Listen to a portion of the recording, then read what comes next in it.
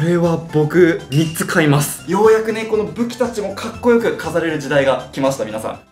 今日紹介するのはウェポンディスプレイライザーです。今までねいろいろ武器を買ったけどどこに飾ろうかなって悩んでた人たち。これを機に飾りましょうということで登場するのがこのウェポンディスプレイライザーです。あのですね、今年の仮面ライダー、えー、仮面ライダーセイバーのモチーフが剣ということで、今までベルトを飾る台座は出ていたんですが、ソードライバーとは別で火炎剣劣化をかっこよく飾れるということで、このいろんなパーツを組み立てることで、こう火炎剣劣化以外にもいろいろなアイテムをかっこよく飾ることができるんで、組み立て方と一緒に皆さんにね、このアイテムの魅力をお伝えしていきたいと思います。それでは早速、やっていこうバンマニこのようにいろいろなパーツがついているんですが、これらを組み替えることによって様々なね、アイテムを飾ることができます。こちらの別売りの聖剣ソードライバーと火炎剣劣化をね、持ってきたんですけど、これらのアイテムを使ってかっこよく飾っていきたいと思います。今日はね、これをあの複数ご用意したので、これでね、いい感じにカスタマイズしてみようと思います。じゃあ早速やっていきましょう。まずはね、ここにたくさんあの穴が開いてると思うんですが、ここに、この支柱パーツの裏側にある、ね、丸い出っ張りがあるんですけど、はめてあげることで横幅の調整ができます。小刻みに穴が開いてるのがもう微調整には最高なんですよ。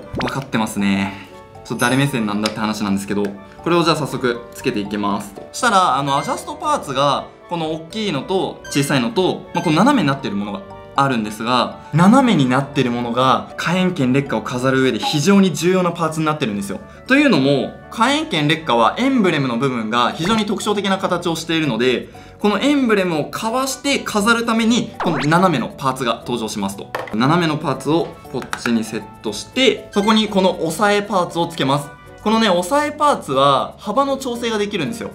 こんな感じでギュッて最大でこれぐらいかな？がっつり締めることができるんですけどここの調整をしながら最後に火炎剣劣化を置いていきますと。火炎剣劣化の持ち手の方をこうやって置いてみたのでおこれだけでかっこいいじゃん。あとはこっちの剣の部分もねつけていきましょう。ちょっと高さわかんなくなっちゃったあれだからこのままやりましょう。こっちの、えー、アジャストパーツの台をセットして押さえパーツですね。をつけます。したら最後にここの幅を調整してあげてこれで火炎剣劣化をかっこよく飾ることができました。いやこれすごくないですか？エンブレムの部分がここに当たってこうどう飾ろうかなとかあのソードライバーにつけた状態で飾るとかやってたと思うんですけどこれでついに火炎剣劣化も単体で飾れるようになったということでこれは僕3つ買います。今テーブルと平行にした状態で飾ってるんですけどパーツを組み合わせることでこういう風に剣先をね上に向けた状態で飾ったりとかカスタマイズも自由になっております。こちらのウェポンディスプレイ台座を複数ゲットすることで様々なねアイテムがこのように飾れるようになります。バンマニ。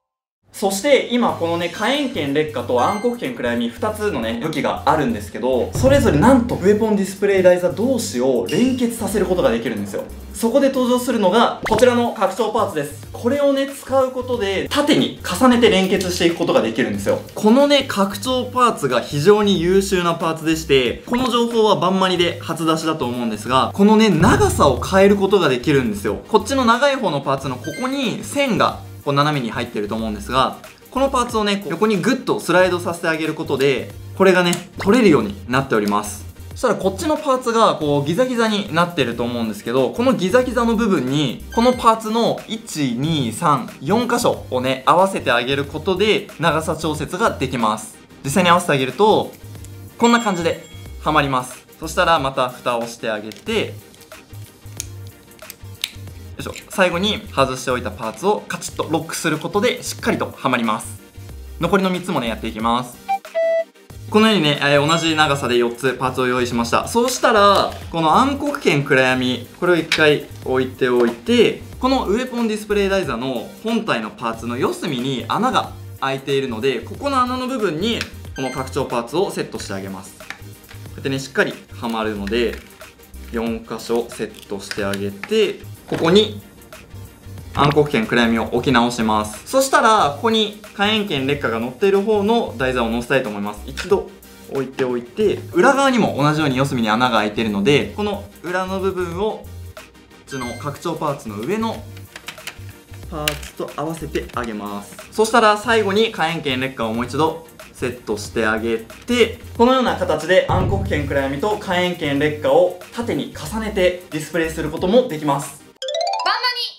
さらに、このアイテムはなんと過去に登場したディスプレイライザーバージョン2のね、上に重ねることができるんですよ。今回この白のものを用意したんですけど、こちらの白バージョンのディスプレイライザーも絶賛ね、プレミアムバンダイで予約受付中なので、こっちも合わせてチェックしてみてください。簡単です。これを乗せるだけです。ここがねあのしっかりはまるようになってるんですよ。角度は自由に調整できるんですがウェポンディスプレイライザーの下の部分にこう爪があるのでそれがこうしっかりはまるような形で乗せることができます。でこのように乗せると聖剣ソードライバーと火炎剣劣化も一緒に飾ることができます。いやこれすごくないですか？僕今までこのディスプレイライザーの上にあのライダーのフィギュアとか置いてたんですけどこのね火炎剣劣化を置くことでベルトと剣の一体感がすごい出ましたね。そして今後ろにちょっとね映ってると思うんですけどこのストームイーグルワンダーライドブックこれもねせっかくなら一緒に飾りたいな。ここにこうやって置いてあげてもいいし横に置いてあげてもいいしなんならもう一個このウェポンディスプレイダイザーを用意して火炎剣劣化の上に乗せますと。この上にワンダーライドブックを乗せるっていう飾り方もできるので皆さんね自分好みにカスタマイズしてかっこいいディスプレイを作ってもらえればなと思いますこれらを応用することでこのように連結させて飾ることもできます。バンダイマニア。今日はウェポンディスプレイダイザーを紹介しましたちょっとね僕もねあの今までこっちのベルトを飾るディスプレイダイザーの方には大変お世話になってたんですよ。家にめちゃめちゃたくさんあるんですけどようやくねこの武器たちもかっこよく飾れる時代が来ました皆さ。んでまだね武器を持ってないなっていう方々はこれを機に武器もゲットしてお部屋にかっこよく飾っていただけたらもう毎日見るたびにテンションが爆上がりなのでぜひゲットしてください。このアイテムはプレミアムバンダイで絶賛予約受付中。こちらの予約期限は11月9日23時までとなっております。皆さんお早めに予約してください。このアイテムが気になったら概要欄をチェック。高評価とチャンネル登録もお願いします。それではまた次回の動画でお会いしましょう。バイバイ。キョーティンのミニミニ豆知識。今日の豆知識はキノコの豆知識。日本には約4000種類から5000種類のキノコが生息していると言われていてその中でも食用とされているのは約100種類と少なく逆に毒キノコとされているのは約40種類でほとんどが謎のままと言われています。明日も見てね。